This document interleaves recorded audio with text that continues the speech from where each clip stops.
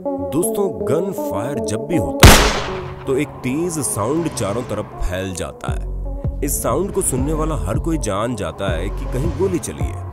गोली के चलने से लोगों में डर का एटमॉस्फेयर बन जाता है, जो जहाँ है, वहीं सरेंडर करके बैठ जाता है। कई बार ऐसी स्थिति आती है कि यदि कोई क्रिमिनल गन को यूज़ करे तो नॉर्मल पब्लिक डर जाती थी। लेकिन अगर पुलिस गन को यूज़ करे तो क्रिमिनल अलर्ट हो जाते थे।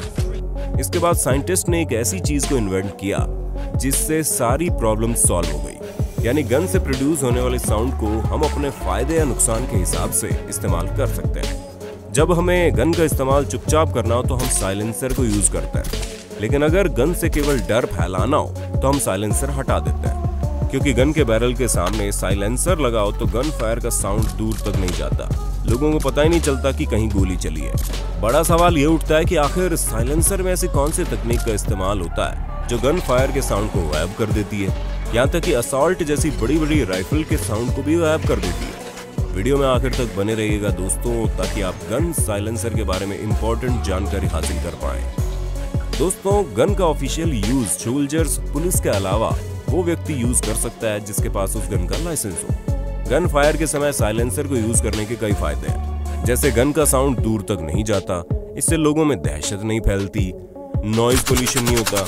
गन फायर करने वाले व्यक्ति को कंसंट्रेशन को साइलेंसर लगे होने पर बंदूक की आवाज़ डिस्टर्ब नहीं कर पाती।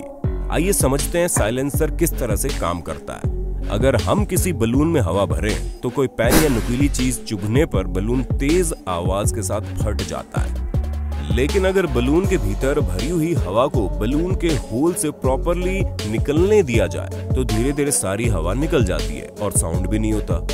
दोस्तों, जब गन फायर होता है तो बारूद के जलने से बुलेट तेज स्पीड से आगे निकलती है। साथ ही एयर प्रेशर के साथ गैस और साउंड प्रोड्यूस होता है। लेकिन साइलेंसर में आने के बाद गैस का प्रेशर और साउंड बहुत कम हो जाता है। दरअसल साइलेंसर का वॉल्यूम गन बैरल के वॉल्यूम से 20 से 30 गुना ज़्यादा होता है। इनकी वजह से गन फायर में बारूद के जलने से गैसों का 3000 पाउंड का स्क्वायर इंच का प्रेशर और साउंड पैदा करता है। वो साइलेंसर में आकर 60 पाउंड पर स्क्वायर इंच तक कम हो जाता है।